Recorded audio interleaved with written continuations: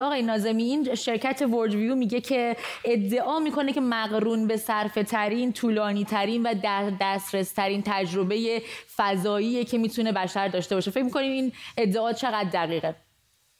تقریبا اصلا دقیق نیستش. به خاطر اینکه اگرچه سفری که پیشنهاد می‌کنه فوق العاده سفر هیجان انگیزی اینکه شما مدت 6 تا 12 ساعت می‌تونید از یه ارتفاع حدود 30 کیلومتری جذابیت های زمین رو ببینید. قطعا سفر هوایی هیجان انگیزیه اما ارتفاعی که شما در اون سفر خواهید کرد حدود 30 کیلومتری هست. بر مبنای هیچ تعریفی 30 کیلومتری مرز فضا نمیشه غیر از بحث‌های در واقع تبلیغاتی. یادمون باشه که بر مبنای اون چیزی که در ایالات متحده هست حدود 85 90 کیلومتری و بر مبنای استاندارد جهانی خط کارمن در 100 کیلومتری مرز فضا هست با این تعریف حتی ماموریت Virgin Galactic نتونست مرز فضا رو لمس کنه.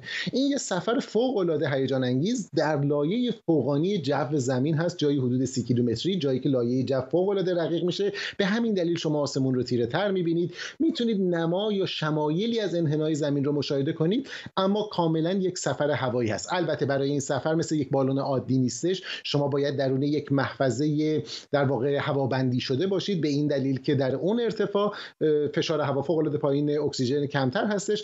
اما اینکه این رو در واقع نسبت بدیم به فضا البته فقط هم این شرکت نیست شرکت دیگه هم به نام Space Perspective قرار هستش که اون هم از سال 2024 این کارو شروع کنه مقداری گرونتر هستش.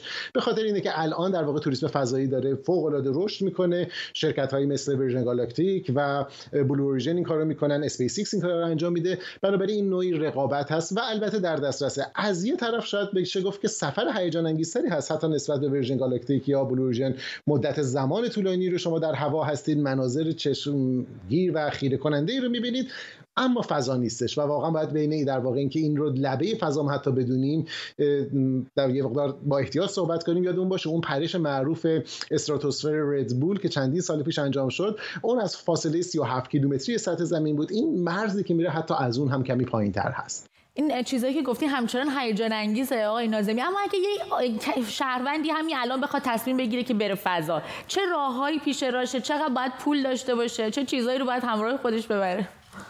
واقعیتش اینه که حالا اگر از این بحث بالون ها خارج بشیم که بگم هوای در واقع ارتفاع بالای جو هستن ما الان چهار گزینه اصلی برای سفر گردشگرانه به فضا داریم. ارزون ترینش که حداقل می‌دونیم Virgin Galactic هست که حدود 85 90 کیلومتری میره. قیمت بلیتی که شما الان می‌تونید بخرید 450 هزار دلار هست. مدت سفر حدود یک ساعت و خورده ای Blue Origin که یک ماموریتش انجام داد اتفاقا این هفته که در پیش است قراره که ویلیام شاتنر هنرپیشه معروف پیشتازان فضا رو به مرز فضا ببره تا حدود 100 خورده کیلومتری میره. عدد رسمی بلیت اعلام نشده اما می‌دونیم نفر قبلی که رفت یه عدد در واقع 28 میلیون دلاری داد. عدد پایینتره ولی هنوز اعلام نشده.